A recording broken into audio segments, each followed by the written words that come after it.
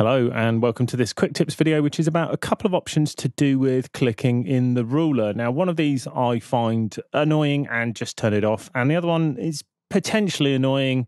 Sometimes it's useful, but I've certainly seen a lot of people be annoyed by it. So, hopefully, one or two of these things will annoy you, uh, and they won't annoy you after doing this. But let's have a look at what I'm talking about. So, here we are. We've just got a range set. Now, you have to be particular about where you're clicking in the ruler. If you click in the top part, you get different behavior than if you click in the bottom part. So, by default, if you click in the top part where it turns to a hand, it turns cycle on and off. I do not like this.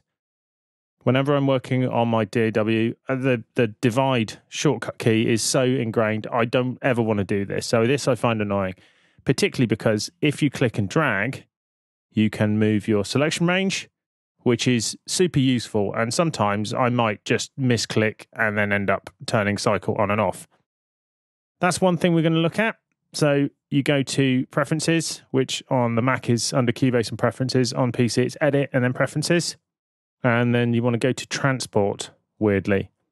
And it's this option here clicking Locate Range in upper part of the ruler activates cycle. So if you turn that off, you will no longer be plagued so there I'm clicking there, and that's obviously activated play, but it doesn't turn cycle on and off, which is what I want. Now, the other thing is if you're in this bottom part, if you move up and down as you're clicking and holding, you can see you can zoom in and out. Now, I've seen quite a few people really get annoyed by this, particularly because sometimes you do this and you end up mega zoomed in.